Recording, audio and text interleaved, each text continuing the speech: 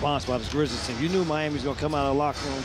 Probably was a heated discussion at the halftime, but the Grizzlies have matched it to start this third. Roddy for three. Back iron. Grizzlies